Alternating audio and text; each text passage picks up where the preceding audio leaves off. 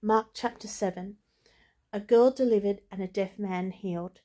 And from thence he arose and went into the borders of Tyre and Sidon, and entered into a house, and would have no man know it, but he could not be hid. For a certain woman whose young daughter had an unclean spirit heard of him, and came and fell at his feet. The woman was a Greek, a Syrophoenician by nation, and she besought him that he would cast forth the devil out of her daughter.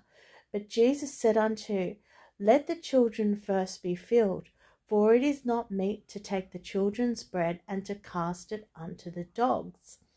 And she answered and said unto him, Yes, Lord, yet the dogs under the table eat of the children's crumbs.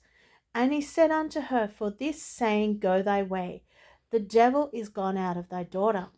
And when she was come to her house, she found the devil gone out, and her daughter laid upon the bed. And again departing from the coasts of Tyre and Sidon, he came unto the Sea of Galilee through the midst of the coasts of Decapolis. And they bring unto him one that was deaf and had an impediment in his speech.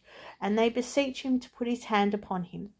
And he took him aside from the multitude and put his fingers into his ears, and he spit and touched his tongue.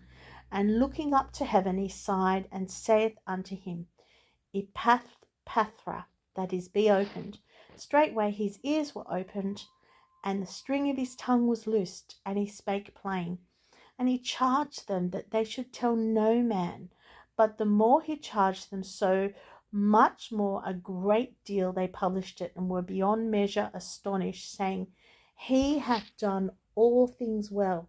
He maketh both the deaf to hear and the dumb to speak.